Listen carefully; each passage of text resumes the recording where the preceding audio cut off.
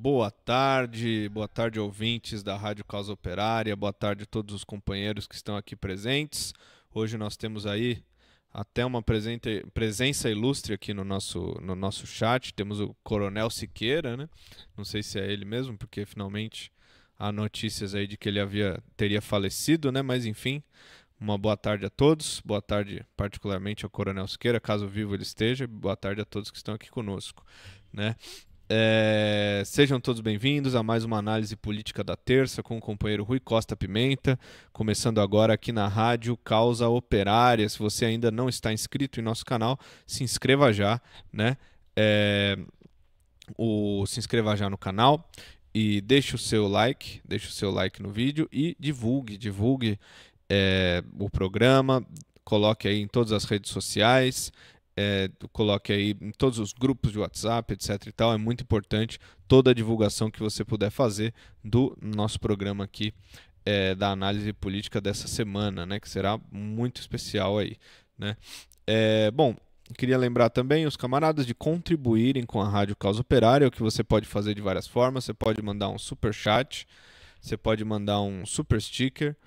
É, você pode também contribuir através do LivePix, né? Você, é, acessa a página do LivePix ou entrando no site livepix.gg/cotv ou, caso você prefira, você pode é, tirar uma foto com a câmera do seu celular do QR Code que está aqui na tela né, aqui, do, aqui no cantinho superior da tela, você pode tirar uma foto e vai te direcionar para o site do LivePix. No LivePix você pode mandar uma mensagem, um texto que aparece aqui na tela do programa durante vai aparecer aí seu nome, a sua mensagem, a sua contribuição, ou então você pode mandar um, uma mensagem de áudio pelo LivePix. É isso mesmo, você entrando aí no LivePix, você grava um áudio, manda para a gente e a gente roda aqui o seu áudio ao vivo, né? Então é, manda aí a sua a, uma mensagem, mande uma mensagem de áudio para a, para a análise, pode ser uma pergunta, pode ser um comentário, o companheiro Rui vai responder aqui ao vivo, né, ao vivo na rádio Causa Operária. Então, é, contribua, né? Contribua conosco, torne-se membro da Rádio Causa Operária. Você pode fazê-lo aqui pelo YouTube, basta clicar em Seja Membro e você escolhe um dos planos que nós temos disponíveis, né? O, o membro é um contribuinte mensal, um assinante aí, né? Que escolhe um dos valores, que nem eu já falei, e nós temos aí como plano básico, né, de entrada, o membro bronze, que é apenas 4,99 por mês. R$ 4,99 por mês não é nenhuma fortuna para ninguém, mas para nós é uma grande ajuda se todos os camaradas, se muitos camaradas puderem se tornar membro bronze, já é uma grande ajuda. Tem outros planos, como você está vendo aí, tem o membro prata de R$ 7,99 por mês, o membro ouro de R$ 19,99 por mês, o membro platina de R$ 99,99 por mês e o membro rubi né, que é a contribuição mais generosa aí de R$ 199,99 por mês. Então torne-se membro da Rádio Causa Operária, contribua com o nosso canal, cada, toda a contribuição é muito importante, é uma forma que a gente tem aí de prever o nosso orçamento e tal, né, uma contribuição fixa, estável e tudo mais. É, se você não quiser se tornar membro aqui pelo YouTube, se não quiser contribuir pelo YouTube, não tem problema. Você pode se tornar membro do canal pelo LivePix. Entra lá em livepix.gg/cotv e confere os planos que tem lá. Você pode se tornar membro pelo LivePix. É, você pode contribuir conosco de outras formas também. Entra, você pode entrar no site cotv.org.br/doe, né, que tem o Linktree com várias formas de contribuir, inclusive todas essas que eu citei aqui, mas também o nosso link afiliado né, da Amazon. Você clica lá, ele vai te redirecionar para o site da Amazon e você pode adquirir alguma coisa na Amazon e uma porcentagem do que você é, gastar lá vai ser redirecionada aqui para a nossa imprensa operária, né, a imprensa revolucionária. O mesmo você pode fazer pelo link afiliado do AliExpress e do Magazine Luiza, que você está vendo aí no nosso Linktree. Então, é, vale, contribua com a Rádio Causa Operária dessas formas que foram ditas. Queria passar aí para o companheiro João, né, para a gente começar o programa de hoje. Boa tarde, João. Boa tarde, Chico. Boa tarde, Rui. Boa tarde todos os ouvintes da Rádio Causa Operária. Rui, queria começar hoje com algumas coisas um pouco caricatas aqui. É, o Google lançou aí a ferramenta de inteligência artificial deles, que gera imagens, tudo, responde perguntas. E uma coisa que foi chamou muita atenção é que a ideologia identitária está muito impregnada aí no, na ferramenta. Um, um, usuário mostrou uma foto, infelizmente eu não peguei aqui, devia ter pegado, que mostra o que mostra, ele pediu para gerar uma foto da Segunda Guerra Mundial, mostrando nazistas, etc. E a inteligência artificial criou o nazista negro, que é por conta aí de, da, de garantir aí uma diversidade. diversidade é. Aí eu queria te perguntar como é que você vê essa situação da, da ideologia identitária e esse verdadeiro fiasco que foi a, a inteligência artificial treinada pelo Google. Bom, eu acho que fora do folclore, do ridículo da coisa, chama atenção que é, é um mecanismo tecnológico que já vem ideologicamente programado.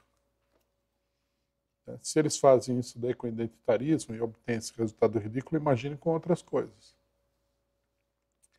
Você vai tentar fazer alguma coisa e a inteligência artificial não vai deixar, vai querer impor né, o critério ideológico do, da pessoa que criou essa, essa ferramenta aí. Né? Eu acho que todo mundo tem que estar preparado para essa, essa realidade, né? que o que é um avanço tecnológico muito importante, sem dúvida nenhuma, já vem pronto como ferramenta de controle ideológico também, né? Aí o, caso do nazista negro serve para colocar em ridículo a coisa toda, né? É, essa daqui foi, é, foi bastante divertida, assim, a internet se é, teve um momento assim de extravasar. É, indo ainda no ridículo identitário, hoje eu, a gente está tá chegando no 8 de março, mas tem muita coisa no movimento negro, infelizmente. É, um menino pardo, eu vou pedir para, eu vou até mandar a foto para produção. É... Perdão, gente. É... Pegar, pegar aqui a foto, mandar para produção. Nós temos aí um menino que é pardo, ele filho de negros, e ele teve aí a sua matrícula na, na USP, no curso de medicina, cancelada pela banca de heteroidentificação, que vai lá e define se ele é negro ou não, através de uma foto. Mandei aí a foto do menino para a gente fazer nossa própria heteroidentificação. E aí o, o que aconteceu foi o seguinte: o judiciário entrou na jogada, cancelou a decisão do, da USP, falou é absurdo isso daqui. Ele é filho de negro, não tem como você chegar lá e falar que não é negro. E ainda por cima, é, negros e pardos, né? E tem a foto do, do moço. A banca decidiu que ele era branco, por algum motivo que eu simplesmente não entendo. É, e aí os coletivos negros da USP tiraram uma nota defendendo a reitoria e as bancas, Nossa. dizendo ainda que é, é, tudo bem, tem casos polêmicos, etc. O sistema tem que ser melhorado, mas isso é uma, é uma grande coisa porque impede a fraude. Como é que você vê essa polêmica aí do, do negrômetro, por assim dizer? É, isso daí é ruim, né? E no Brasil é particularmente problemático porque o país é um país que tem muita gente, é, é, um, é um país com altíssimo grau de miscigenação, talvez o mais alto do planeta Terra. Né? E você, com essa política identitária, ela está obrigando aí a diferenciação de categorias de pessoas. É, não, não uma, uma diferenciação que surge de uma condição social real. É uma coisa artificial. Porque uma, uma coisa é você estar, por exemplo, na África do Sul, você tem negros e brancos, e logicamente que os negros vão estabelecer claramente essa diferenciação, vão polarizar com os brancos, porque há toda uma, uma situação social, uma luta política, uma luta social em curso. Aqui é uma coisa burocrática de Estado. Né? E a gente acaba nessa, nessa situação. Isso aí é inevitável, porque se você falar cota para negros e pardos, você teria que dar, né, rigorosamente falando, é, o lugar para 60, 70% da população. Aí é que mora o problema, né? Ou mais, ou mais, mais de 70%. Então é uma, eles estabeleceram um critério artificial e agora eles ficam nessa situação, né? É, essa, esse negócio de vagas para negros vai acabar se transformando em uma espécie de reserva de mercado, que nem a faculdade de medicina. Logicamente que vai haver uma pressão de setores identitários para que os negros sejam muito negros. E aí os pardos né, entram na categoria de. Não é nem negro nem branco, fica no limbo racial, né, entre aspas. Eu acho que isso daí é muito ruim. O que a gente precisa no Brasil é dar é, o ingresso à universidade pública para todas as pessoas que precisarem de universidade pública. É isso que é, a luta correta seria essa. Né? Nós, num, num período anterior, nós aceitamos aí a reivindicação de cotas para negros, porque nós pensamos o seguinte: é ruim essa reivindicação, mas é um passo adiante. Agora, hoje em dia, já isso aí já, é, digamos assim, já virou a chave. Né? Eu acho que nós temos que é, lutar pelo livre ingresso na universidade pública, pelo que, para que o ensino público seja para que o ensino superior seja monopólio do Estado, que todos que queiram entrar possam entrar. Não tem que haver essa, essa discriminação. Né? Porque, no final das contas, com essa discriminação, a população pobre, os, os filhos dos trabalhadores não vão entrar na universidade. O negócio de cotas para negros já deu o que tinha que dar, na minha opinião. E como é que você avalia que isso aí entra num problema que é filosófico aqui, que ao criar essa banca, eles e a defesa dos movimentos identitários dessa banca, nós um dire... É, é uma negação de um direito fundamental da população que seria o problema da, da autodeterminação. Você não agora você não pode mais de... é, se declarar nada. Você o cara tem que pegar uma paleta uma paleta de cores ali, que nem fizeram nos Simpsons, e definir o... se você é negro ou não. Qual que é o impacto disso daí se for, aplica... se for aplicado numa tese geral? por exemplo, no caso dos indígenas, que você classifica quem é indígena ou não, por exemplo. É, é o tal negócio, né? O correto seria a autodeclaração. Quem que sabe quem que é negro, quem não é negro, é o negro. É ou não é? Agora, como isso daqui é um negócio econômico, portanto capitalista, você introduz aí esse tipo de conflito. Tem que ap aparecer o especialista que vai determinar quem é negro e quem não é negro. Na, na pesquisa de. É, como é que se diz? De, do IBGE, no censo do IBGE, é uma autodeclaração. Daqui a pouco vão ter que mandar né, com, esse, com esse tipo de problema, vão ter que mandar um especialista casa por casa para ver se você é negro ou não é negro. Não é você que vai dizer se você é negro ou não é negro. É ruim. Tudo isso daí é, só pode trazer problema. Né? Sem falar que o resultado disso daí é pequeno. Né? Finalmente, os negros que vão entrar aí, que são uma minoria, eles vão é, acabar sendo uma elite.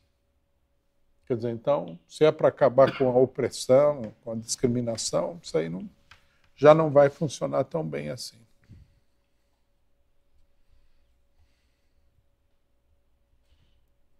Bem, entrando aqui em temas um pouco. Bem, ainda tem mais um folclore pra gente. Hoje o dia tá engraçado. É, o Guilherme Boulos ele declarou que o Ricardo, em outros momentos, que o Ricardo Nunes é o diabo que desceu na Terra, é o pior prefeito da história do, do Brasil, etc e tal. Só que hoje ele tirou uma foto com o senador do MDB, que apoia o Bolsonaro, que está apoiando a candidatura dele contra a candidatura do colega do MDB dele, Ricardo Nunes. Como é que você vê essa nova adição aí do, ao time do Guilherme Boulos, que já tinha Marta Suplicy, agora, alguns sionistas na equipe dele, e agora tem o, o marqueteiro que fez a campanha do João Dória e agora um senador bolsonarista do MDB? É, candidatura do Boulos, né? A população de São Paulo vai ser vítima de um estelionato político com a candidatura do Boulos, né? que a candidatura do Boulos só tem gente de direita. Você enumerou aí. Sionistas, João Dória, PSDB, Marta Suplicy, senador do Nunes tal.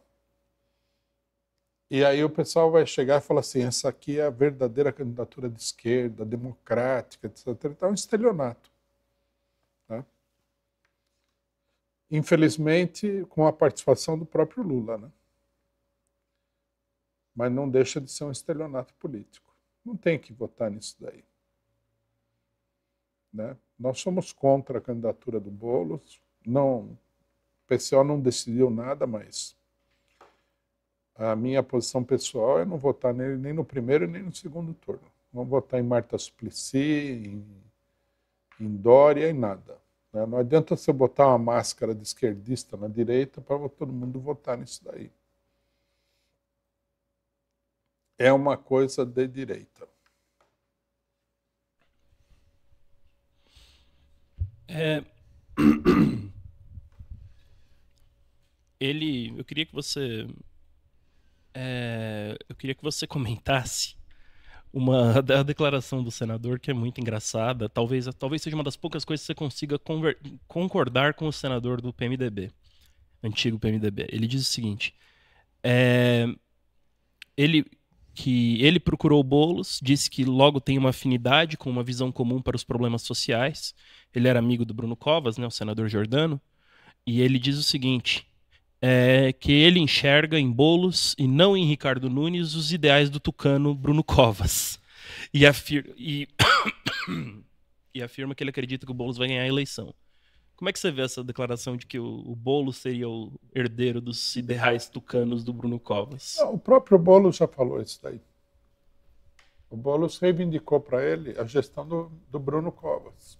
Quer dizer, basta você botar um bolsonarismo aí, que o cara vai lá e abraça o, os piores inimigos, entendeu? É uma farsa isso. É a mesma coisa que vai acontecer já já, né? em relação aos Estados Unidos, não, recentemente alguém perguntou: será que o pessoal do PT vai votar no Biden? Eu falei: sem nenhuma dúvida. O Lula já deu essa declaração. O, o Lula declarou, já vi outras pessoas declarando, fazendo campanha pelo Biden. Enquanto o homem mata crianças, o Biden é o principal responsável por isso que está acontecendo na faixa de Gaza. Mais do que o Netanyahu. Porque o Netanyahu é como se fosse um cachorro louco que o Biden tem amarrado lá. Se o Biden segura a coleira, o bicho não morde ninguém. Se ele solta, ele morde. Então, quer dizer, o responsável não é o cachorro, é o dono. O Netanyahu é o cachorro do Biden. Mas o pessoal vai aparecer e falar tem que votar no Biden. Agora você pergunta por que, que tem que votar no Biden? Ah, tem que votar no Biden porque o Trump é pior do que o Biden. Pior em que sentido? Né? Em que sentido que ele é pior? Ele vai provocar um outro genocídio, é isso? Se ele vai provocar um outro genocídio, que é o pior que alguém pode fazer, ele é igual ao Biden. Ele não é pior, ele é igual. É a mesma coisa que o Biden. Então, o que, o que acontece é o seguinte: há uma direitização aí do PT, né? não sei se, é se a gente pode dizer direitização, né? Acho que o PT ele voltou à sua tradicional política mulambenta aí de fazer todo tipo de acordo, né, de acabar com a polarização entre classe operária e burguesia, esquerda e direita, democracia e ditadura, acabar com tudo isso daí né, e juntar, pegar toda, toda as fezes políticas nacionais, juntar numa panela, cozinhar e servir para o povo. Não tem sentido, né? O Boulos ele se reivindica como herdeiro do Covas. Covas era da ala direita do PSDB, não era nem da ala mais, né? Era da ala direita do PSDB. Um, um político que ninguém podia votar. Aí o PT fez a campanha, não, PSDB, PSDB, PSDB. Agora está apoiando um candidato que fala que não é o Nunes que é o herdeiro do Covas, é ele o herdeiro do Covas. Bom, se ele é o herdeiro do Covas, esquerda, trabalhadores, pessoas honestas, não tem nada a ver com isso. Né? Nada. Não tem e não tem que ter nada a ver.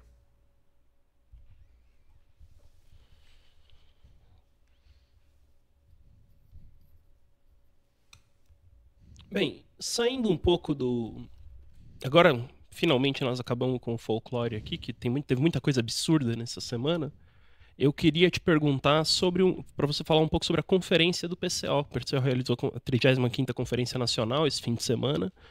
É, o que, que, você pode falar para a gente um pouco sobre as deliberações e sobre o, é, o debate da conferência? Que naturalmente é, o público entende que é privado, tudo, mas alguma coisa você... Olha, nós convocamos essa conferência em caráter extraordinário. Né? é, devido à importância que tem a campanha da Palestina e a, o, a, a, a medida que nós adotamos de viajar para o Catar, conversar com Hamas, etc. E tal. Então, o tema central da conferência, embora né, outras questões tenham sido discutidas, se discutiu a política nacional, foi, foram foi feita uma primeira discussão sobre as eleições, escolhemos até, na conferência foram escolhidos pré-candidatos em algumas cidades mais importantes e tudo mais. É, a Palestina foi o eixo da conferência. Né? Então, é, nós discutimos amplamente uma campanha em torno da questão da Palestina. É uma questão que não pode ser nem obviamente que não pode ser ignorada, mas não pode ser em nenhuma medida diminuída. Né? É uma questão central no mundo hoje e no Brasil também. Né? Primeiro, porque né, se nós não nos mobilizamos com toda a nossa força para é, combater né, o genocídio na faixa de Gaza, eu acho que como partido, já não vou dizer marxista, revolucionário, trotskista, mas até como um partido com espírito democrático, com algum espírito popular, nós estamos completamente condenados. Então, é uma coisa que não pode, de modo nenhum, ser minimizada. Nós discutimos aí de fazer. É, nós discutimos centralmente duas ações importantes. A primeira delas é a divulgação das entrevistas que nós fizemos com os dirigentes do, do Hamas. Né? Na própria conferência, nós apresentamos o primeiro vídeo, que foi a declaração do líder máximo do Hamas, Ismail Haniyeh, do líder da ala política, é, é, o líder do partido Hamas, né? porque ele não é o dirigente da, das forças combatentes do Hamas na faixa de Gaza e na Cisjordânia, as brigadas Al-Qassam. Esse, esse aí seria o Sinuar, o dirigente, que está em Gaza. Né? Mas ele é o líder político principal do Hamas. Nós divulgamos a declaração dele ao povo brasileiro, e nós vamos em breve divulgar uma entrevista com o, o, o responsável pelas relações exteriores do Hamas, que é o Dr. Abu Marzouk, e também com o Dr. Naim Bassem. Nós publicamos na, na internet um, uma saudação que o, Dr. Naim Bassem fez em nome do Hamas. Ele é um dos responsáveis pelo Hamas em Gaza, é, para a nossa conferência. Né? É, nós vamos publicar depois uma entrevista. Nós esperamos que essas entrevistas sejam muito esclarecedoras diante das calúnias monstruosas que o Netanyahu é, lançou contra o Hamas. Aqui eu queria fazer um parênteses, que é o seguinte: né? Queria que todas as pessoas que estão nos acompanhando aqui tivessem uma consciência integral de que essas mentiras elas são mentiras do governo Netanyahu, o nazista sionista responsável pelo, pela carnificina contra mulheres e crianças em Gaza. Só isso daí, só isso, já deveria fazer com que qualquer pessoa que não seja um, um direitista aloprado desconsiderasse as acusações de mortes de bebê, que já foi desmentido, de estupro, que já foi desmentido, de é, matança intencional de civis, que já foi de, é, é, desmentido também. Né? Né? Só a gente tem que falar para os nossos companheiros da esquerda, porque tem gente na esquerda que fala isso daí. Eu vi aí um cidadão do PT, uma pessoa muito ativa nas redes sociais, veio no, na, no meu perfil falar que eu fico associando a esquerda a, a terrorista. Então eu respondi para ele o seguinte: você é um papagaio do Netanyahu. A gente poderia usar também a seguinte expressão: você é um boneco de ventríloco do Netanyahu. Quem diz que o Hamas é terrorista, quem diz que o Hamas praticou atentado terrorista, é o Netanyahu. Ou eu poderia ter dito seu grande amigo, né, o Joe Biden, também conhecido como Genocide Joe. Então, nós temos que é, impor essa, essa verdade. Né? Eu vi que o Estado de São Paulo publicou o nosso vídeo aqui. Daí perguntaram para o para alguém lá do governo Lula o que, que ele achava. Ele falou: o governo Lula condena os ataques terroristas do 7 de outubro. O governo Lula está prestando um desserviço com esse tipo de coisa. Porque ninguém constatou que fosse um ataque terrorista. O governo Lula assumiu como versão oficial da diplomacia brasileira as mentiras do senhor Netanyahu, um criminoso de guerra um dos piores criminosos de guerra que o mundo já viu até hoje. Um carniceiro, um assassino de crianças. O governo Lula continua com essa baboseira, endossando a posição do Netanyahu, porque foi ele que espalhou a versão de que isso daí foi um ataque contra civis e papapá, papapá.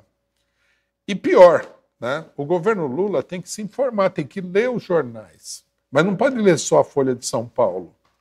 Tem que ver os órgãos né, que fazem uma investigação independente, como, por exemplo, o, o, o, o sítio em inglês da internet, Grey Zone.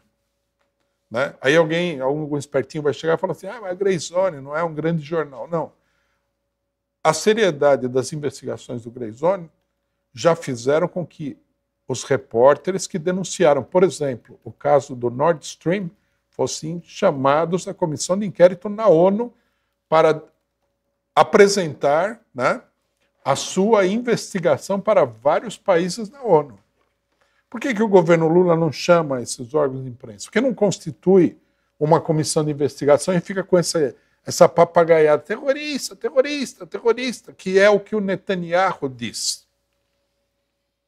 Né? Então, é, fechando esse parênteses, nós vamos, nós vamos lançar uma campanha que é o seguinte: o Hamas apresenta o seu lado da história. Né?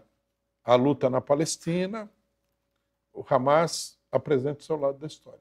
Para, para que todas as pessoas tenham a oportunidade de ouvir a voz do Hamas. Você pode achar que o que os dirigentes do Hamas estão falando não tem valor nenhum, mas aí você pelo menos ouviu o que eles têm a falar. Porque até agora ninguém nem ouviu esse pessoal.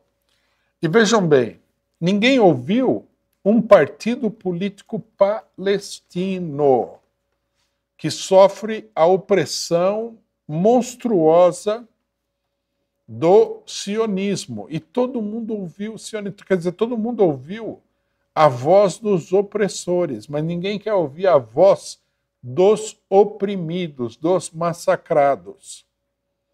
Né? Nós estamos vendo o que está acontecendo na Palestina. Diante disso, ninguém pode ter dúvida né, de que não se trata aí de ataque terrorista. Mas, enfim, nós vamos colocar isso daí, né, para que todas as pessoas possam emitir uma opinião tendo conhecido os dois lados. Logicamente que a direita vai falar que o que o Hamas está falando é mentira, não tem problema, mas a esquerda tem que ouvir. Nós vamos entregar pra, pra, para a direita também o nosso. Né, nós vamos divulgar para todo mundo. Nós vamos entregar aí um, uma versão gravada da entrevista para todos os parlamentares e tudo mais. Aí cada um né, pode dizer o que quiser, tendo visto o outro lado, porque é ridículo e é pornográfico, eu diria, do ponto de vista político, que você tenha toda uma discussão, um genocídio em marcha, uma polêmica mundial, e ninguém tenha se dado ao trabalho de ouvir o outro lado da história. Todo mundo acredita no pior criminoso da história, no vilão da história, que é o Netanyahu. É incrível. É um espetáculo assim que deixa qualquer um bestificado. Então, essa é a primeira questão que nós discutimos bem. Nós vamos lançar essa campanha de divulgação. Nós queremos entregar esses, esses vídeos aí para pelo menos duas mil autoridades públicas brasileiras, parlamentares, juízes, etc, etc, etc. Bom, em segundo lugar, nós discutimos aqui uma intensificação da campanha geral da Palestina contra o genocídio. Né? É, no dia 10 de março, agora, né, dentro de cinco dias, começa o, é, a data religiosa do, dos, dos, muçulmanos, que é o Ramadã. A resistência palestina, quer dizer, todos os grupos que estão na luta contra Israel, fizeram um chamado mundial a um dilúvio do Ramadã, ao estilo do do, do dilúvio de Al-Aqsa. Então, nesse período do, do Ramadã, que vai de março a abril, nós vamos intensificar a nossa campanha. O nosso objetivo é estar nas ruas todos os dias e fazer uma, um conjunto de debates e de ações políticas contra o genocídio na Palestina nesse mês aqui. Aproveito até para convidar as pessoas que estão nos assistindo aqui, que queiram participar. É uma causa que todo mundo deve abraçar. Né? Entre em contato conosco para participar. Nós vamos distribuir panfleto, nós vamos colocar cartazes, nós vamos fazer atos na Embaixada de Israel, provavelmente dos Estados Unidos, provavelmente da Inglaterra, França, todos os países estão apoiando o genocídio. Nós vamos fazer um monte de coisa. Né? Então, nós precisamos né, e pedimos a ajuda de todos que participem. Entre em, pode entrar em contato até aqui pelo chat do, do programa, né, que nós é, vamos procurar incorporar. Não tem, não, a pessoa não precisa fazer muito, se não tiver disponibilidade de tempo. Se fizer, se muitas pessoas fizerem alguma coisa, nós vamos fazer muitas coisas.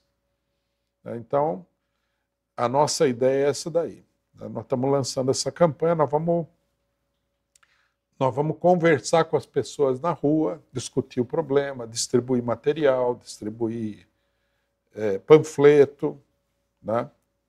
fazer uma campanha ampla em defesa dos palestinos. Né? A começar pelo dia 8 de março agora, que nós vamos participar do dia 8 de março, e o nosso tema principal no dia 8 de março é a Palestina. Nós achamos que não tem sentido fazer outra coisa que não seja né, colocar as mulheres que estão sendo assassinadas, as dezenas de milhares na Palestina, como centro do 8 de março. Né, se colocarem qualquer outra baboseira, é porque é uma farsa. Nós estamos realizando, o coletivo Rosa Luxemburgo, ligado ao PCO, está chamando para hoje à noite uma reunião uma plenária nacional, né, é, virtual, para discutir a organização do dia 8 de março. Né? Então, essas foram as principais resoluções. Né? Nós discutimos a situação política, reafirmamos a nossa linha política geral, né, diante do, do ato do Bolsonaro. É preciso sair às ruas, é preciso ter um programa popular, é preciso travar uma batalha ideológica com a base bolsonarista. Né? A Palestina é importante nesse sentido também, porque estão os, o, os líderes bolsonaristas evangélicos, eles criaram uma farsa pseudo-religiosa, que é de que os cristãos né, brasileiros teriam que apoiar o que está acontecendo na faixa de Gaza. Isso é inadmissível, não podemos aceitar uma coisa dessa. Tudo bem, né? eu não sou cristão, eu não sou muçulmano, também não sou judeu. Eu sou marxista, sou ateu, materialista. Mas eu tenho o direito de exigir da pessoa que fala em nome de Jesus Cristo que ele não seja um carniceiro. Tenho todo o direito. Eu tenho direito, eu, eu, eu, eu não tenho o direito de exigir da pessoa que fala em nome de Jesus Cristo que ele seja marxista. Não posso exigir isso daí dele porque ele não, não, não há base nenhuma para exigir isso daí. Mas que ele apresente aqui o nome de Jesus Cristo como sendo uma bandeira para o assassinato de crianças, assassinato de mulheres, o, o genocídio de todo um povo, isso é inadmissível. Ninguém pode ficar calado diante disso. Né? Qualquer pessoa, por menos que a pessoa conheça a religião cristã, sabe que isso daí é um escárnio. É um escárnio a pessoa vir e falar: Eu estou apoiando o que está acontecendo em Israel em nome de Jesus. É um escárnio. É uma, é uma, é uma bandalheira religiosa. Essa é a verdade. Né? Eu acho, inclusive, que né, queria aproveitar aqui, né, se tiver pessoas que são cristãs que estão ouvindo, deveriam se levantar contra isso. Né? Não tem esse negócio que o pessoal levanta nos atos públicos, não em meu nome. Eu acho que os cristãos deveriam falar assim, não em nome de Jesus. Faça por sua própria conta e risco. Você é, é genocida, você gosta do assassinato de crianças, você gosta de matar mulheres indefesas, de bombardear a população civil? Faça em seu próprio nome. Não faça isso em nome de Jesus, de uma religião que tem os seus, os seus preceitos estabelecidos. É uma bandalheira. Então, é, nós discutimos a situação política, o enfrentamento com o bolsonarismo, a necessidade de sair às ruas, a necessidade de exercer uma pressão sobre o governo Lula para que ele realize mais, que ele não percebe. O PT não percebe, mas eles estão ficando para trás, eles estão perdendo terreno. Né? É, então, discutimos isso daí, não vou me alongar nesse ponto. E discutimos também a nossa preparação para as eleições municipais. Né? E, além da preparação para as eleições municipais, nós discutimos de fazer agora, nesse mês de março, estamos fazendo, uma campanha de filiação ao PCO. Né? Nós temos muita gente em torno do partido e nós queremos filiar essas pessoas ao partido. A filiação ao partido não implica necessariamente que a pessoa vai ser uma pessoa muito atuante. Não é isso. Né? No PCO nós temos dois critérios. Nós temos os filiados e nós temos os militantes organizados. Os militantes organizados, eles atuam, eles se reúnem todas as semanas em células partidárias, discutem a política do partido, discutem as atividades, discutem as campanhas do partido, eles são o motor do partido. Né? Agora, você pode ser um filiado do PCO e não exercer toda essa atividade. Tem gente que não tem tempo, tem gente que não tem condições, tem uma série de problemas, mas as pessoas podem contribuir de diversas maneiras, esporadicamente, e a filiação é um fortalecimento da nossa luta. Então, nós é, vamos insistir agora, né? Estou falando isso aqui pela primeira vez, mas eu vou falar agora, a partir de agora em todos os programas, para que as pessoas que acham que a política do PCO é correta, que a nossa atividade é uma atividade positiva, produtiva, que se filiem ao PCO. Filiem-se ao PCO. Sejam filiados. Se você quiser ser militante, melhor ainda. Né? Entre em contato, a Secretaria de Organização do partido vai colocar você num trabalho organizado. Não, você não precisa ser sindicalista, nem, nem militante do movimento estudantil ou do movimento negro. Né? O PCO é um partido diversificado. Se você, por exemplo, for uma pessoa que tiver habilidade de informática, você pode trabalhar para o PCO dentro da sua área profissional. Se você for um artista, você pode atuar como artista. Né? É, nós vamos, por exemplo, na campanha da Palestina, fazer atividades artísticas. Então as pessoas podem contribuir aí. Há muitas e muitas maneiras, né? de que as pessoas, dentro da sua qualificação, dentro da sua vocação, possam contribuir. Você não precisa né, necessariamente ser um militante profissional, digamos assim. Né? Nós temos os militantes profissionais, mas você pode ser uma pessoa que atua numa área específica da atividade partidária. O Brasil é grande, né? as atividades são muito diversas, e eu acho assim, é, são poucas coisas que a gente não poderia aproveitar para desenvolver a luta revolucionária né, em todos os terrenos, que é o que nós queremos. Então, nós, nós estamos lançando né, a campanha de filiação.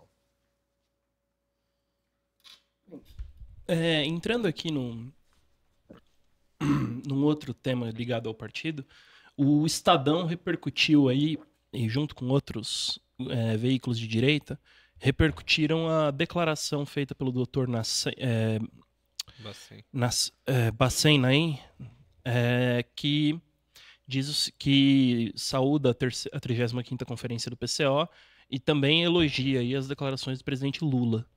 Como é que você vê a tentativa da imprensa de, de pressionar o governo Lula com as declarações do movimento de resistência islâmica Hamas que agradecem aí a solidariedade com o povo palestino.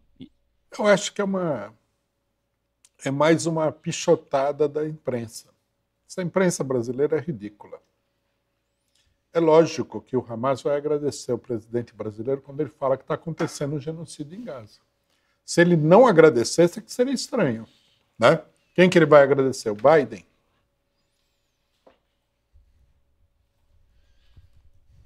Eles querem dar a entender que haveria alguma coisa de errado né, na colocação do Lula de que tem que parar o genocídio. Não, a colocação do Lula de que tem que parar o genocídio mostra, né, acima de tudo, que o Lula, apesar de ser político, é um ser humano. Esses jornais, por sua vez, mostram que eles não são humanos, porque eles até isso eles querem usar como uma intriga. Oh, o Hamas agradeceu o Lula. Vou dizer mais: o Hamas foi o, os que vieram de público agradecer o Lula, mas eu tenho certeza que a Frente Popular agradece o Lula, a Frente Democrática agradece o Lula, a Jihad Islâmica agradece o Lula, o Hezbollah agradece o Lula. A autoridade palestina, que não faz absolutamente nada pelos palestinos, mas que quer manter as aparências, agradece o Lula. Eu acho que até agradeceu publicamente, com certeza agradeceu publicamente. Então é nada mais natural. Nós não somos palestinos, mas nós não vamos agradecer a declaração do Lula, mas nós elogiamos essa declaração. Todo mundo no movimento pela Palestina elogia essa declaração. É generalizado. vários países falaram né, que o Lula está certo e tal. Eu não sei, essa é uma imprensa. Eu, eu acho que eles estão recrutando jornalistas no jardim de infância agora, porque isso é uma criancice. É uma intriga infantil. Né? É inacreditável a gente ver isso daí. A política brasileira está numa, numa derrocada assim, o que é natural, porque esse pessoal não sabe o que quer da vida. Esse cidadão aí não sabe o que quer. Ora ele ataca o Bolsonaro, ora eles estão dando beijo de língua no Bolsonaro na questão de Israel. Precisa se definir, meu amigo. O que, que vocês querem? Né?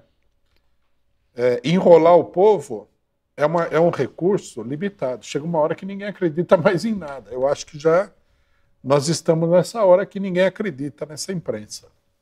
É uma palhaçada isso daí.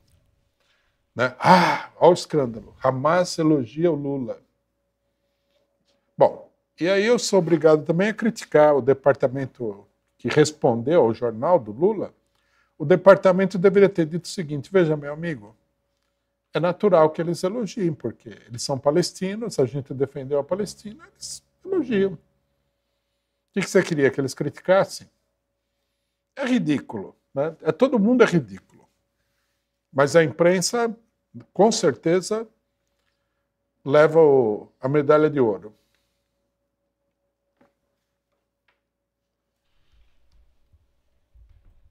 Bem, eu, eu queria te perguntar, nós temos ainda bastante tempo de programa, mas eu queria te perguntar sobre um caso, é, dois casos ligados aí às, liberdade, liberdades políticas né, e, de, e de expressão. Primeiro, eu queria te perguntar sobre a decisão da Suprema Corte norte-americana de que os estados não podem decidir quem vai estar ou não na, na cédula eleitoral.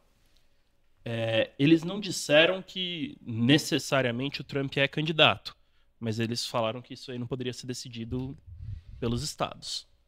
Por, ah. Pelo risco de. E com risco que inclusive os democratas apontaram, de que os republicanos, que são maioria em vários estados, começassem a descredenciar diversos. Os candidatos, republicanos, os candidatos democratas. É.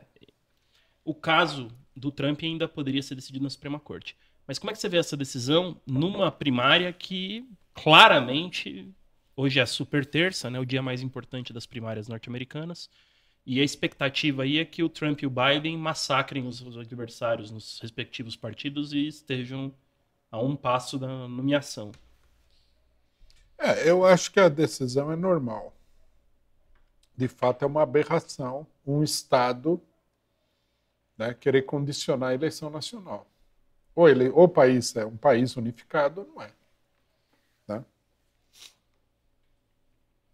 se ele for se ele é aprovado como candidato, ele tem que estar no, na cédula, vamos dizer assim. É uma, uma atitude arbitrária. Quando a gente fala que esse tipo de atitude arbitrária é perseguição política, o pessoal não gosta, porque o Trump é um, é um direitista, um fascista. Tudo bem. Mas é perseguição política. E nós condenamos esses métodos, primeiro porque isso aí facilmente pode se voltar contra nós. Segundo, porque não é a nossa maneira de lutar contra a direita, contra a extrema-direita. E não é eficiente.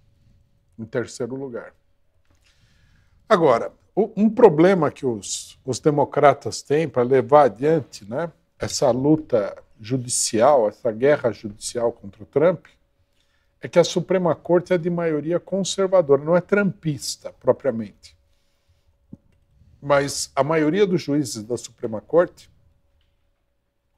eles foram indicados pelo Partido Republicano.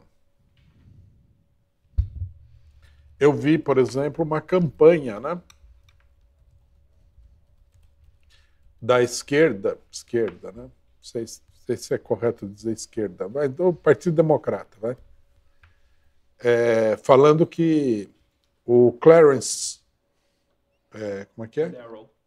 Não, não é Darrell. Clarence Thomas. Thomas. Clarence Thomas. É, ele deveria se abster, ele deveria se declarar incompetente para julgar o caso do Trump, porque ele é trumpista, ele é ultraconservador. Tudo bem. Eu acho que, né, se, não, se, a, se a, a Suprema Corte não tivesse essa maioria conservadora, é capaz que a gente visse muita coisa fora do comum contra o Trump aí.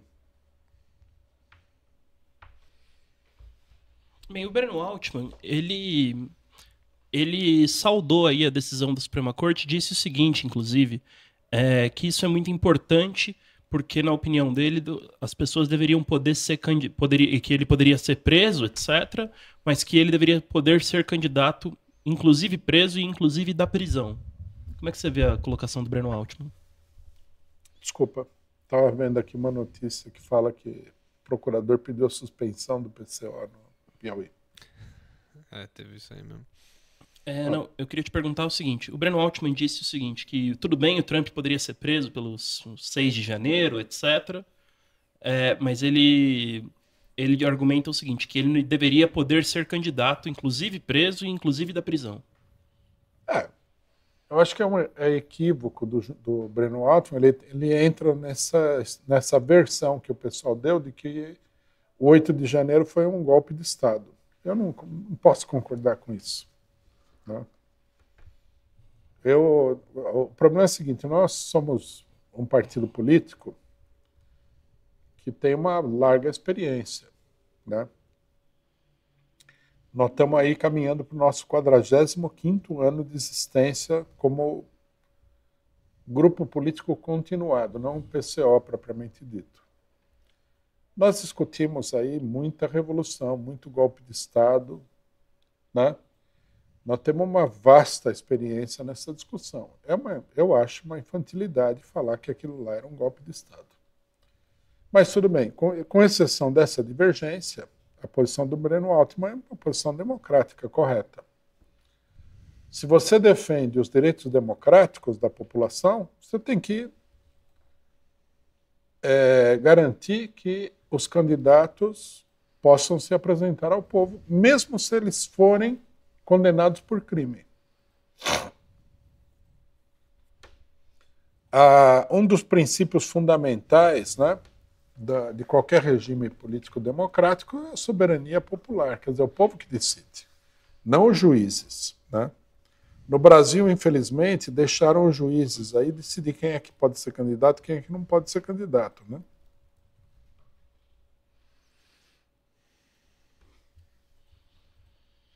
Perfeito. É o caso do Piauí, né? É, então eu ia entrar agora em dois casos aí relacionados ao partido. Primeiro, eu queria, eu queria dar a notícia e pedir para você comentar. É, os companheiros da Causa Operária TV nos avisaram aqui que o canal Cortes da COTV, que era o antigo COTV Reserva durante o bloqueio do, do STF, ele foi permanentemente desmonetizado. E todos os. Permanentemente. Permanentemente. Eles entraram em contato com o YouTube e receberam a notícia de que foi permanentemente desmonetizado. Tinha diversos assinantes lá cujas assinaturas vão ser canceladas. É, isso aconteceu três meses atrás, a desmonetização, mas não se sabia se ia ser permanente. Agora passou os três meses de, de sanção e eles disseram que não vai voltar. Como é que você vê essa, essa situação afetando aí a, o canal Cortes da CATV. E por quê, né? Esse que é o importante. Por que, que nós estamos sendo desmonetizados? Será que a gente, algum... Nós fizemos uma filmagem no cinema e alguém gritou fogo? Será que nós defendemos a, a pedofilia? Será que nós defendemos aí a, a organizamos a rede do CELTV como rede para o tráfico de entorpecentes, que é uma coisa ilegal. O que a gente fez? Qual foi o nosso crime? Vou explicar para todo mundo, que é para todo mundo saber como é que o negócio vai funcionar daqui para frente. O nosso crime não é crime nenhum, não houve crime. O que acontece é que o PCO defende a Palestina. Se você tiver um canal e você ficar elogiando e fazendo piada das crianças mortas na Palestina, você não vai ser desmonetizado. Não vai ser. O YouTube não, não acha que isso daí é irregular. Agora, defender as pessoas que estão sendo assassinadas brutalmente na Palestina, esse é o crime do PCO. Aí alguém vai falar, não, é o Hamas. O Hamas, no Brasil, não é considerado organização terrorista.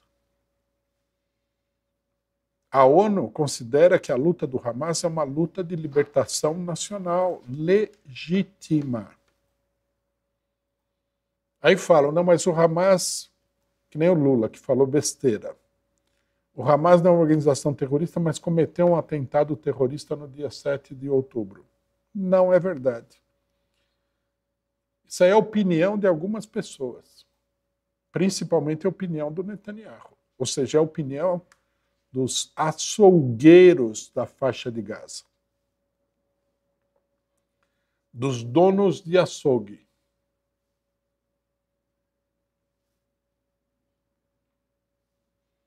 Então, né, quando você, você quer parar você defende a luta de um povo oprimido, você defende a luta dos oprimidos, você recebe essa sanção. A, a, o PL das fake news, que está em, em andamento no Congresso Nacional, apoiado pelo PT, ele diz o seguinte: que isso daí deve se transformar na regra. Que havendo determinada coisa que sei lá quem considere que é irregular, as redes sociais têm a obrigação de agir contra. Quer dizer, vão dar as redes sociais que apoiam o sionismo na Palestina e que, portanto, estão envolvidas aí numa atividade, né? estão apoiando uma atividade abertamente criminosa, o poder de censurar as pessoas. Quando, né, num país normal, num Estado de Direito, você só pode ser censurado se houver uma sentença judicial. Mesmo assim, seria irregular. Mas pelo menos você tem uma sentença judicial. Isso daqui, na verdade, vai além. Não é só que nós defendemos a Palestina. É um ataque contra o nosso partido. Nós temos que dizer isso daí. Eu acho que é importante destacar esse fato, porque nós precisamos aí do apoio das pessoas, né, para se confrontar com essas barbaridades. Eu queria chamar todas as pessoas que são assinantes no canal da COTV, Cortes da COTV, para que passem a assinar outros canais ligados a nós. Olha a decisão. Foi desmonetizado permanentemente. Você pode recorrer dessa decisão? Não pode. É isso que o pessoal quer para as redes sociais. Esse, esse negócio assim parece a, a Gestapo. Você foi preso, não sabe por quê, torturado, sei lá, assassinado, ninguém sabe o que aconteceu com você, por que aconteceu com você, o que é que está acontecendo, ninguém sabe de nada.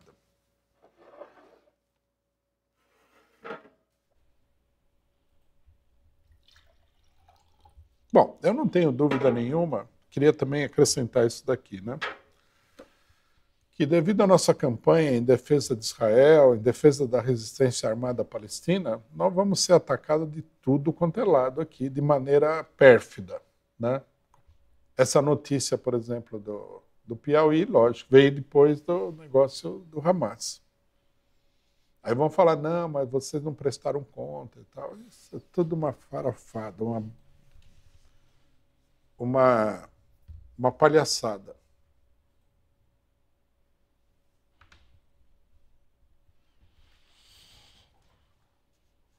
É, você quer aproveitar o, o, tópico e falar um pouquinho da campanha do João Dória, já que a gente tá no.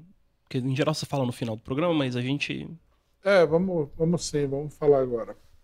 Então, vocês estão vendo esse negócio do, dos, o, dos cortes, do canal Cortes da COTV, né?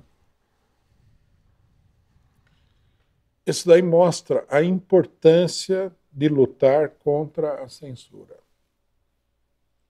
Quando começou a, escalada do Xandão de censura aos bolsonaristas, nós falamos, não tem que apoiar isso daí. Tem que exigir a liberdade de expressão irrestrita. Aí umas pessoas geniais falaram para a gente o seguinte, mas e se alguém gritar fogo no cinema?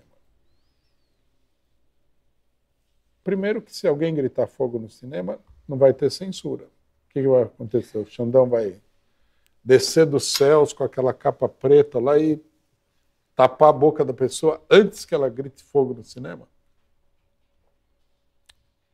Não vai, né? É uma, é uma idiotice. Ah, mas vão deixar os bolsonaristas falarem. Eu falei, veja, é um preço muito pequeno para você também ter o direito de falar deixar os bolsonaristas falarem. Ah, mas os bolsonaristas vão pedir, vão falar mentira sobre o PT. Não vai ser a primeira vez. Mais mentira do que a Rede Globo, a revista Veja, o jornal Folha de São Paulo, Estado de São Paulo, falaram do PT. Desde que o PT foi criado, os bolsonaristas não vão conseguir nunca. Então, nós explicamos que isso daí era uma coisa queria se voltar contra o que era progressista, democrático, revolucionário na sociedade brasileira. Agora não há mais dúvida. Né? Aí alguém pode falar assim, ah, mas é o PCO que está sendo censurado. Não é verdade, porque o Breno Altman foi censurado, o Genuíno foi censurado, quer dizer, gente do PT. O PT de conjunto não foi censurado, até porque o PT não tem órgão de imprensa próprio. Se tivesse, acabava sendo censurado também. Então, quer dizer, as pessoas que apoiaram isso daí cavaram a própria cova. Agora veja só. Está tudo perdido? Não. Nós temos que lutar. É preciso lutar. Nós precisamos criar um movimento de opinião que seja contra isso daí. É óbvio, nesse momento aqui, que o problema da censura na internet é a favor dos piores inimigos da humanidade. É óbvio. Não é para o bem. É para o mal. Nós já tivemos toda uma mostra do que o negócio é na Ucrânia. Muita gente não sabe, mas RT, Sputnik, Al Jazeera estão proibidos em vários países já. Até na internet. Quer dizer, essa, a censura é uma coisa, é um plano geral do imperialismo. Não foi o PT que veio com essa ideia, ideia idiota. O PT só cometeu a idiotice de acompanhar o plano maléfico do imperialismo mundial. Eu tive na Al Jazeera. Al Jazeera é uma, um empreendimento do governo do Catar que é assim, é, em vários sentidos, é maior do que a Rede Globo. Não é um jornal de internet, é, um, é, o, é o jornal, de, é a televisão mais importante do Catar de noticiário, é a Al Jazeera. E ela é assistida em todos os países árabes. Al Jazeera, né, alguém me contou recentemente, um companheiro estava me contando, ela elaborou um projeto para se estabelecer como televisão nos Estados Unidos. Eles fizeram um contrato e compraram né, na televisão a cabo as 50 mil assinaturas de uma televisão que estava fechando. Eles gastaram coisa assim de um bilhão de dólares. Aí veio o governo norte-americano e cancelou a concessão da Al Jazeera. Então, veja bem, Al Jazeera não é o PCO. Al Jazeera é uma, uma rede de informação de um governo progressista, até certo ponto é um governo progressista, o governo do Catar. Não pode ter Al Jazeera. O imperialismo não aceita. Então, vamos ter claro. Tá? Defender a censura ou não combater a censura é você ficar na mão de pessoas como Joe Biden, Netanyahu, Rede Globo. Quem que quer isso daí? Nós temos tecnologia hoje em dia para permitir né, uma ampla circulação de informações pela internet, mas eles vão acabar cerceando tudo. E você que está nos assistindo agora, você vai ter que assistir a Rede Globo. Ou então você vai ter que ver programa de culinária na internet, se eles forem bem-sucedidos. É uma coisa monstruosa monstruosa. Né? Eu digo isso, eu gostaria que os companheiros que estão assistindo todos, eles fossem às redes sociais, discutissem com seus familiares e amigos esses problemas, mostrassem o que está acontecendo. A hora que ninguém puder fazer, falar nada, sabe o que vai acontecer? Não é a democracia que vai triunfar, seja lá o que for a democracia aí vem uma ditadura. Já vai ser meio, mais ou menos uma ditadura, mas vem a ditadura escancarada. É, eu acho que essa campanha que a gente fez contra o processo do João Dória, para pagar o processo, ela foi uma campanha muito importante para o PCO e, numa certa medida, para o Brasil. Porque nós falamos. Nós fizemos a campanha, nós organizamos a campanha para ser a campanha uma campanha política, de discussão política sobre o problema da censura. Nós não viemos simplesmente falar, nos ajude a pagar o processo. Nós viemos aqui para colocar tudo o que está envolvido nisso daí. Eu acho que nesse sentido a campanha foi uma vitória muito grande do PCO. Uma primeira vitória, uma pequena vitória, mas uma vitória grande, em geral. Né? Nós estamos terminando essa campanha aqui. Nós estamos aqui, está faltando para a gente os últimos 15% da campanha, 15 mil reais. Porque nós nos colocamos o objetivo de, de recolher 100 mil reais, que foi o que a gente pagou. É, esse dinheiro, né, é, por pequeno que seja, né, 100 mil reais, perto de outros empreendimentos de comunicação não é nada. Ele é um dinheiro que ajuda né, o, o trabalho de discussão política, de comunicação do PCO, manter a cabeça fora d'água. Ajuda a gente a fazer as campanhas políticas. Né? Então, é, Nesse momento aqui, eu queria fazer um apelo a todos os companheiros para que contribuíssem é, e nos ajudassem a encerrar essa campanha. Nós temos mais outras coisas para fazer relativas à liberdade de expressão e relativas à Palestina, e nós vamos lançar outras campanhas financeiras. Cada um pode contribuir, logicamente, com a sua disponibilidade. Né? É, mas eu faço apelo para que a gente nos ajudem a encerrar essa campanha aqui o mais rapidamente possível, porque nós estamos entrando numa nova etapa. Então, está aí na, na tela o Pix, tá? pix.dco.org.br. E nós pedimos que as pessoas que puderem contribuir, contribuam com alguma quantia mais expressiva para encerrar a campanha. E aqueles que não tiverem condição de contribuir, renovamos aqui o nosso apelo para que contribuam simbolicamente. Nós queremos chegar a 3 mil contribuintes. Essa semana aqui nós vamos fazer um balanço mais na ponta do lápis de como é que está andando a campanha para divulgar no sábado que vem. Os companheiros que não puderem contribuir pelo Pix, contribuam. Tem a alternativa, né? tem a opção de contribuir pela, pela plataforma da Vaquinha, vaquinha.com.br. Temos as perguntas do público, Chico Vaz. Eu queria fazer uma pergunta para o Rui, na verdade. Queria pedir para ele comentar, porque saiu uma notícia no, no Globo falando que uma investigação da ONU aponta estupro de reféns do Hamas.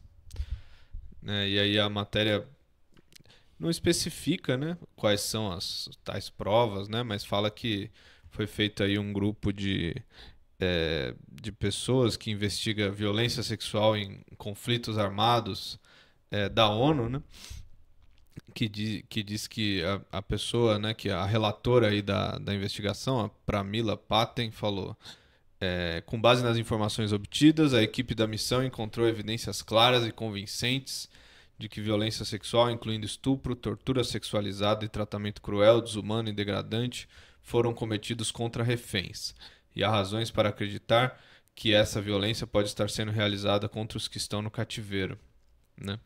E aí ela fala que examinou, conversou com testemunhas, examinou supostas fotos e relatórios de especialistas forenses, né? E falou e fez um, e no comunicado também diz o seguinte: a equipe achou um padrão das vítimas, na maior parte mulheres, encontradas totalmente ou parcialmente nuas, amarradas e baleadas em vários locais. Apesar de circunstancial, esse padrão pode indicar várias formas de violência sexual, incluindo tortura e tratamento cruel, desumano e degradante.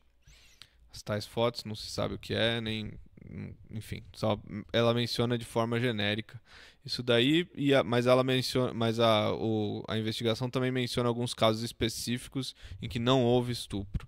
Né, que algumas denúncias que foram feitas não se confirmam. Ela fala do kibbutz Be'eri, que não, e que as duas alegações de violência sexual não foram comprovadas, e também na base de Nahal Oz, em que houve é, denúncias de mutilação genital e de estupro, também não foi comprovado. Enfim, só para porque parece que é uma nova cartada aí do, do imperialismo, né? Então, isso aqui é, é, mais, é mais uma jogada é. publicitária. Não é do, é do imperialismo e do, uhum. do próprio Netanyahu. Sim. Né? É, na investigação, eu não, eu não fui fazer uma pesquisa, mas eu vi coisas que foram colocadas aqui. Né? É, ela visitou Israel e ela falou com os sionistas. Isso, só isso daí já desclassifica que a quantidade de mentira que eles contaram até hoje e o crime que eles estão cometendo, né, para qualquer pessoa, invalida como fonte de denúncia. O cara tem que apresentar provas muito concludentes para isso daí, né? É, Então, primeiro problema é isso daí. Segundo problema, né,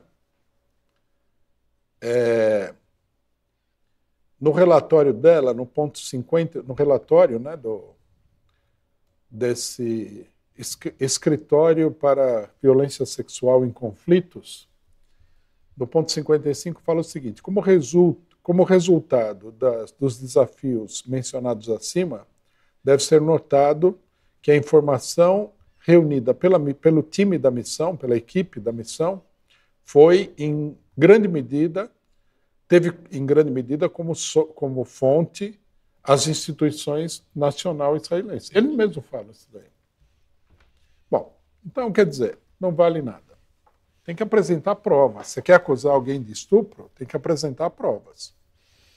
Aqui, né, nós temos que é, levar em consideração também o seguinte: essa mulher, ela já, ela já estrelou na, nas campanhas publicitárias do imperialismo. Essa mesma mulher, né? Ela, ela foi a pessoa que falou o seguinte: que os, o, o exército russo estava recebendo Viagra para estuprar as mulheres ucranianas. Isso daí é uma barbaridade. Quer dizer, a mulher, evidentemente, é uma propagandista paga das posições do imperialismo. Ela não tem autoridade nenhuma. Né? Nenhuma, nenhuma, nenhuma, zero autoridade.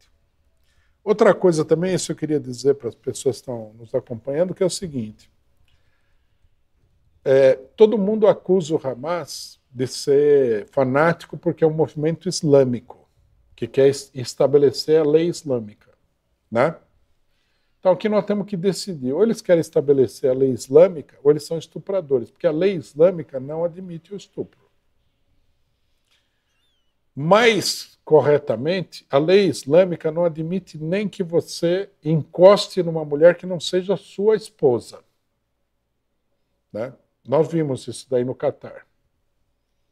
O pessoal, nós fomos com uma delegação que tinha dois homens e duas mulheres. Eles cumprimentavam os homens e para as mulheres eles botavam a mão no peito e faziam assim. Ninguém, né, deu a mão para nenhuma mulher nossa, que são mulheres ocidentais, não é mulher islâmica.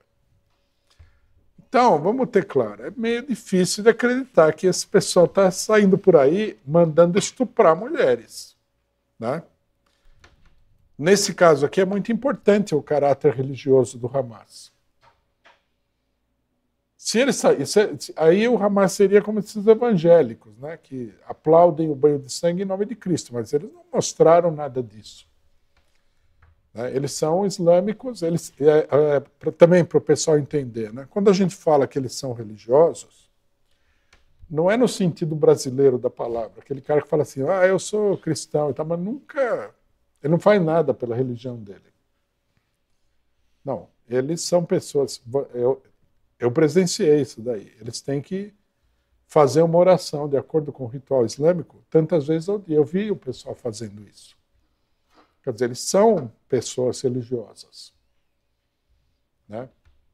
Eu acho muito, eu acho que seria uma crise, uma contradição muito grande para uma organização como essa sair por aí estuprando mulheres. Eles, logicamente, que negam tudo, absolutamente.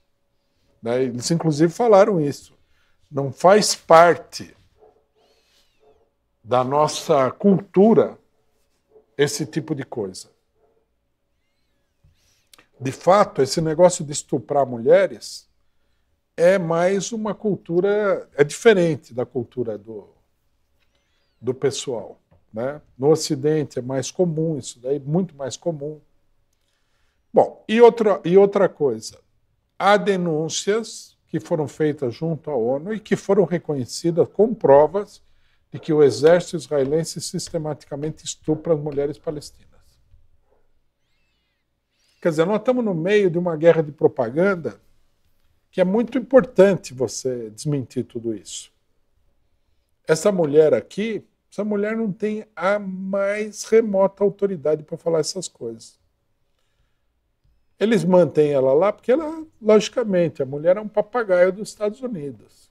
Você mandar ela em qualquer lugar, ela vai falar que teve estupro. E o estupro sempre vai ser assim: é do sírio contra não sei quem, do iraniano contra não sei quem. Né? É, a, é o truque, né? é a tentativa de utilizar o identitarismo para encobrir né, o genocídio, o assassinato de crianças, de bebês, de mulheres grávidas. Bom, indo agora para os companheiros para as perguntas do público, primeiramente eu queria agradecer muito as contribuições. O companheiro René da Silva Bastos se tornou membro do canal e não só isso, ele também deu de presente 20 assinaturas do canal Rádio Causa Operária. Então alguém pode ter sido aí agraciado. E 20 pessoas foram agraciadas com assinaturas do canal, né? Do, do, da Rádio Causa Operária. Dani C também se tornou membro do canal, seja muito bem-vindo, camarada. É, e Michel Cismanoglu mandou um super chat com o seguinte comentário: falou parabéns PCO pelos vídeos sobre a Palestina.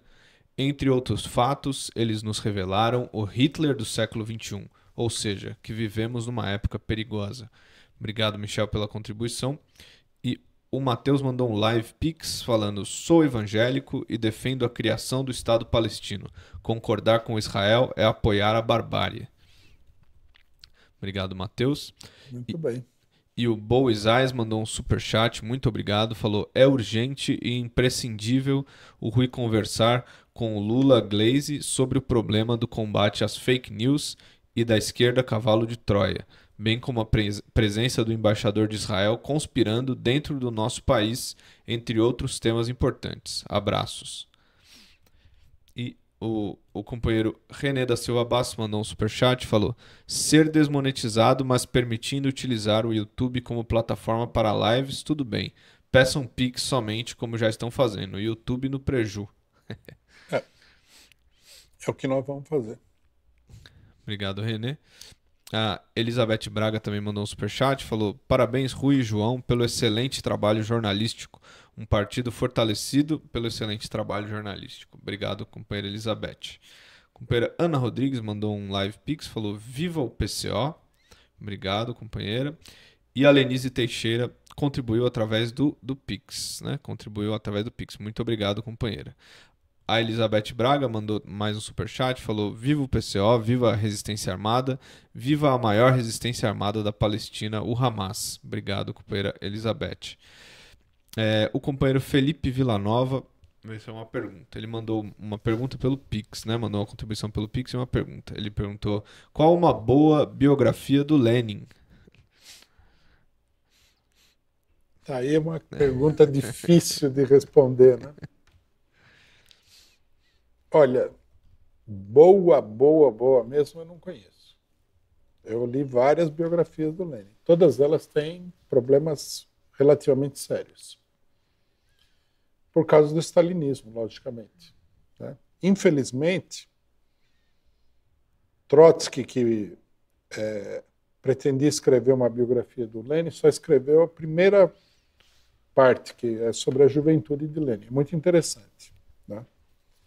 E depois ele, ele publicou uma série de, de artigos sob o título em livro Lenin, onde ele faz uma série de comentários e retratos da atividade de Lenin.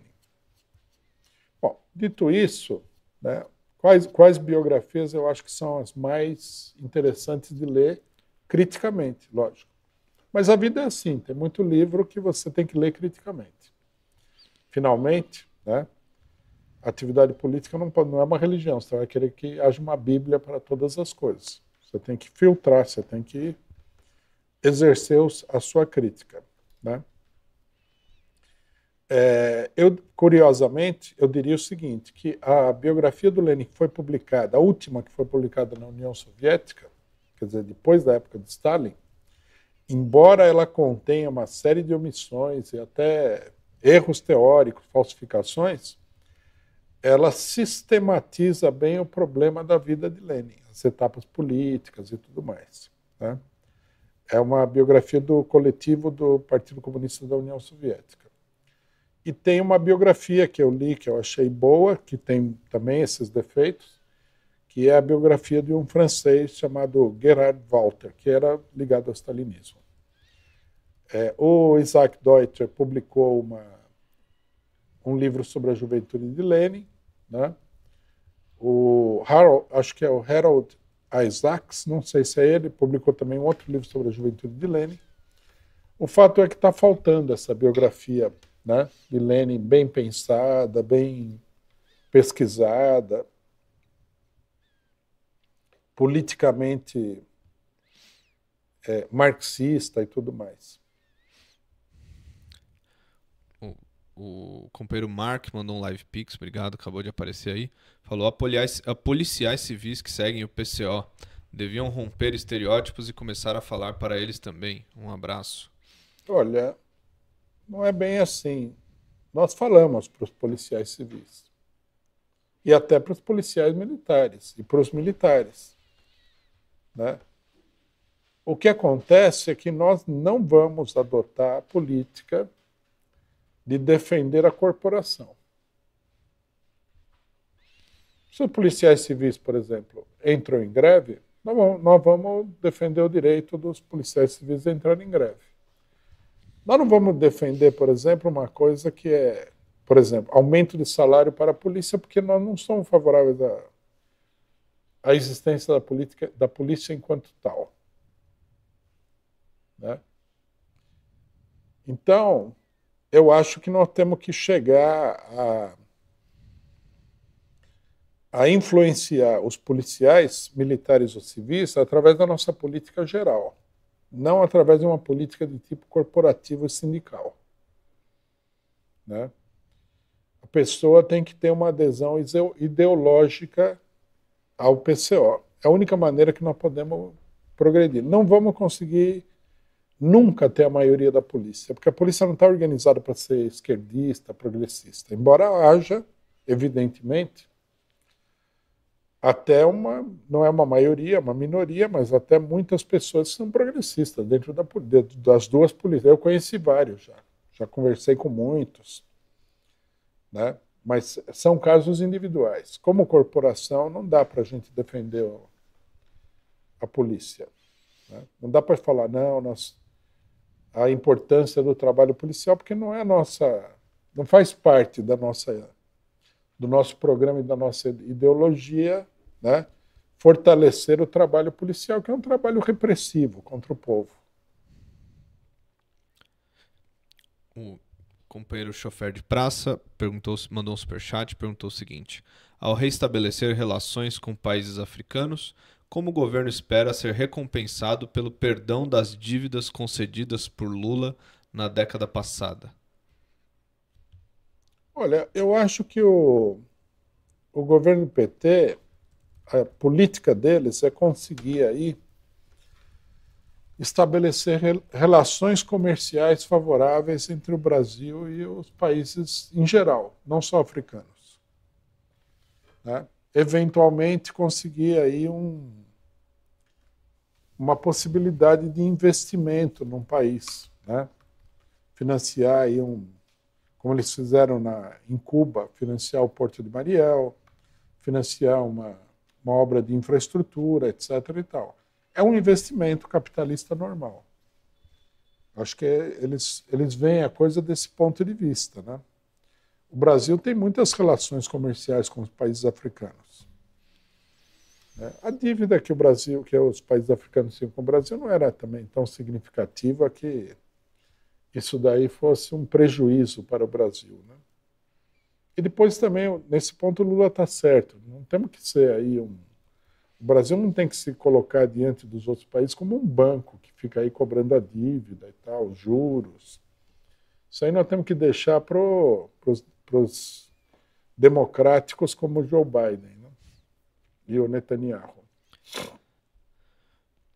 Se é que o Netanyahu tem alguma dívida que ele possa cobrar de alguém, porque isso aí, né, apesar de todo o barulho que eles fazem, é um paizinho que de nada, né, Israel o companheiro Carlos Moreira, é membro do canal há dois meses. Ele perguntou: Rui, o que dizer da companheira Glaze, que condenou a contratação do técnico Cuca pelo Atlético Paranaense? Parece que ela voltou atrás. Ah. Eu acho que esse daí é uma... o pessoal do PT, eles, eles não têm um bom senso. Veja, a gente não deve sair por aí acusando as pessoas. Não é uma coisa boa. E também ninguém gosta disso. Né? Você gostaria de ter um amigo que saísse por aí acusando todo mundo de tudo quanto é coisa? O cara seria um verdadeiro policial num círculo de pessoas. Todo mundo ia olhar para ele e falar: não quero ter nada a ver com esse cara. O Cuca foi acusado de estupro, e era uma acusação também meio sem pé nem cabeça, uma coisa de 20 anos atrás, e não era um estupro, é uma coisa. Mas como o identitarismo fica nessa palhaçada, né? A Gleice foi lá acusar o cara, não tem que fazer isso aí. Não fazer isso aí não é uma defesa do estupro, é uma defesa do direito das pessoas né, de terem um exame democrático isento das coisas pelas quais eles são acusados. Né? O dever de qualquer partido que tenha um espírito democrático não é acusar as pessoas, não é condenar a pessoa sem julgamento nem nada.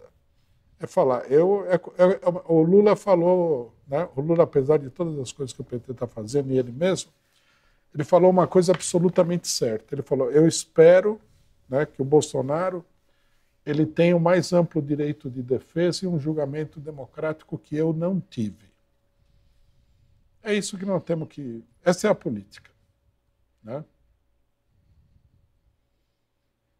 Nós não temos que sair por aí toda hora apontando o dedo e falando: vamos condenar, vamos condenar, esse, é culpado, estuprador. Isso aí não é uma política boa. O companheiro Robocop Gay mandou uma pergunta por LivePix. Falou, Rui, quais deveriam ser as pautas de uma grande manifestação unificada das esquerdas na Avenida Paulista? Bom, é, já está, né? Essa, essa mobilização já está. A mobilização incluiu a reivindicação da Palestina, né, por proposta nossa. Nós propusemos que a, a mobilização tivesse uma, uma pauta de reivindicações populares, né? direitos trabalhistas, um monte de coisa. Porque a manifestação não é uma manifestação chapa branca. Nós somos contra a manifestação chapa branca. Nós somos favoráveis a uma manifestação dos partidos de esquerda, que é diferente de uma manifestação chapa branca. É, também não somos favoráveis a uma manifestação aí para derrubar o governo do PT, que é seria uma, uma loucura total. Né? Mas a, a, manifestação tem que ter reivindicações, tem que reivindicar os direitos trabalhistas, o fim do desemprego, melhores salários, a, a estatização das empresas que foram privatizadas, a reforma agrária. Tem que reivindicar essas coisas. Porque, por que, que o povo vai numa manifestação se a manifestação não está defendendo seus interesses? Isso é uma coisa que todo mundo deveria pensar, né? Uns aloprados lá queriam que a manifestação fosse a favor da prisão do Bolsonaro. Não vai ninguém nessa manifestação. É ridículo, né?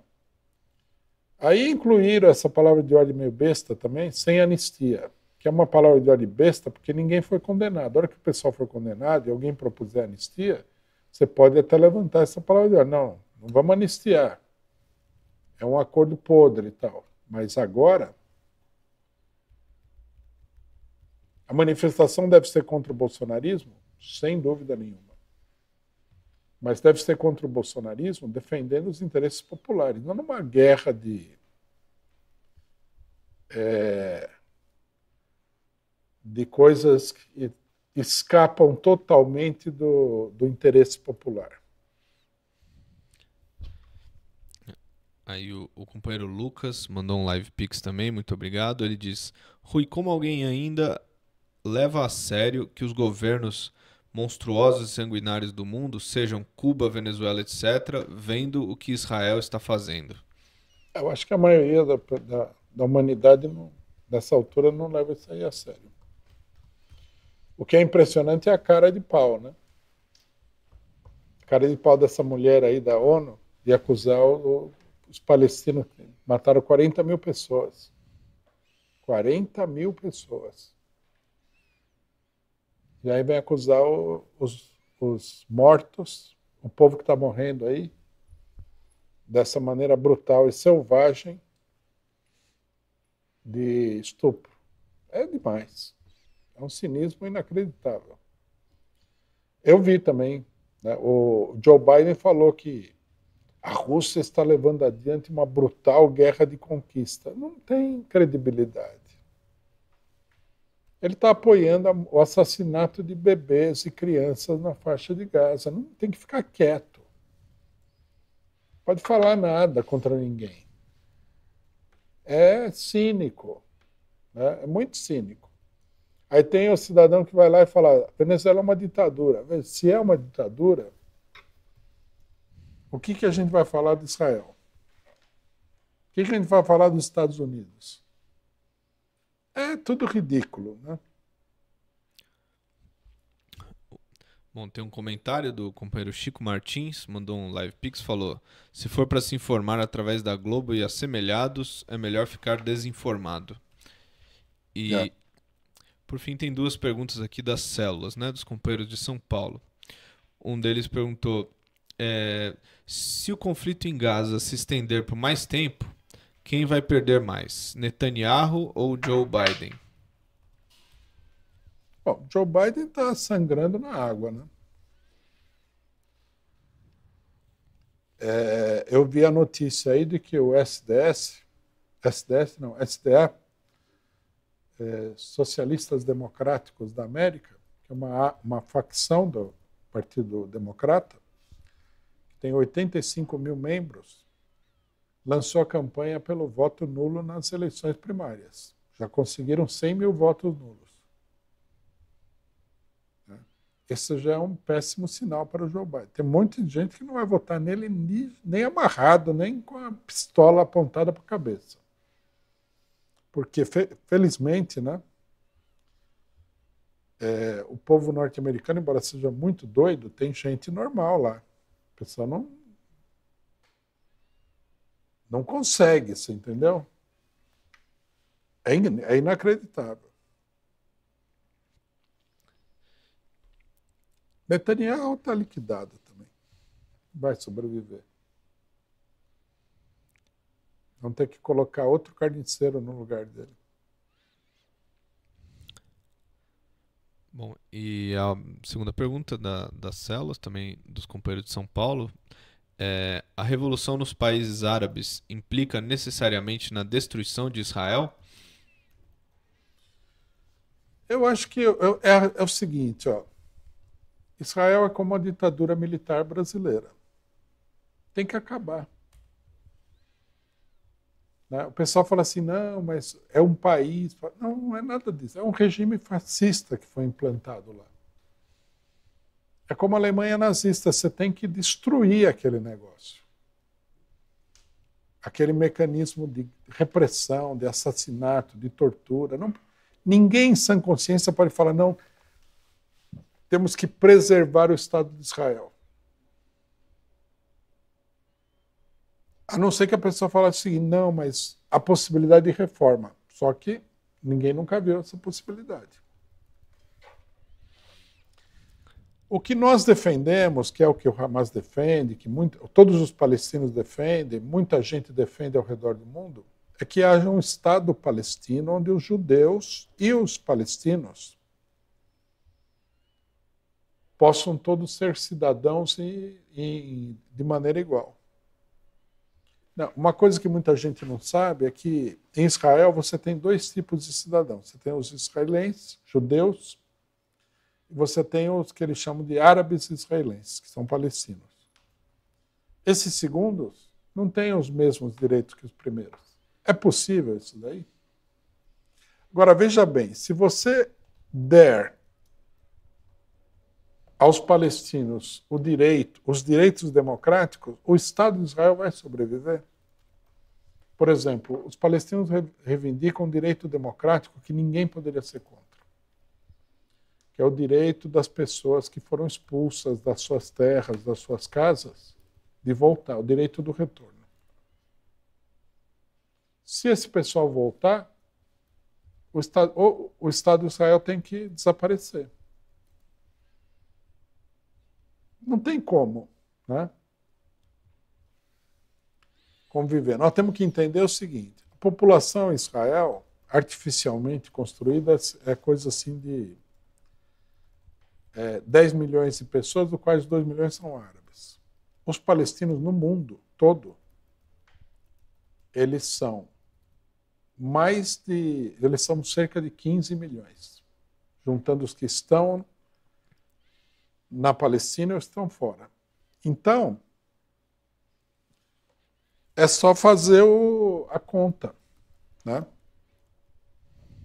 Se você tiver um Estado democrático aí, essa ditadura israelense, o Estado supremacista judeu, o Estado racial, o Estado racial de uma raça que não existe, porque não existe a raça de judeus.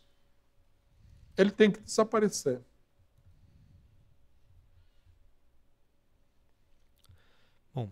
É, sem mais perguntas do público, queríamos agradecer a todos os camaradas que participaram, que estiveram aqui conosco, né, que mandaram suas perguntas, que contribuíram, que debateram aqui no chat.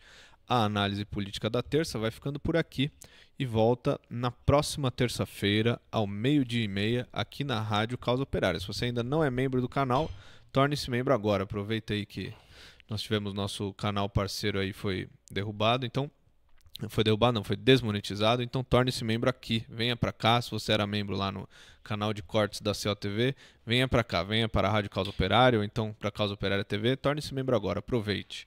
Né? Uma ótima tarde a todos e o... voltamos na próxima terça-feira ao meio-dia e meia. Boa semana e até lá.